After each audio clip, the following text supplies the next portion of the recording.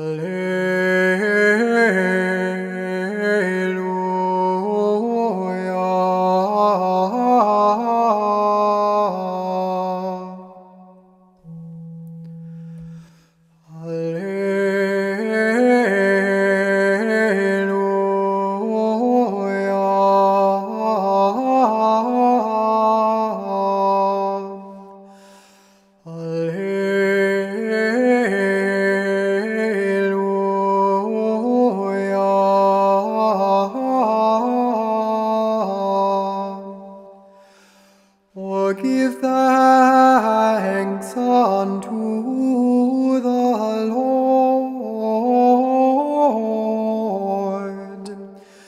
for he is gracious.